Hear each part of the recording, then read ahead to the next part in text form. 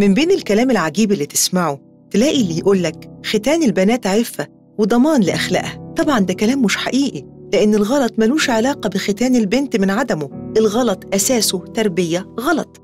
البنت عفتها مش في ختانها عفتها في تربيتها وتعليمها وتعريفها الصح من الغلط. تكبر وهي فاهمة معنى الكرامة والأمان. أحميها من الختان. برعاية اللجنة الوطنية للقضاء على ختان الإناث. للمشورة اتصل على 16 3 صفار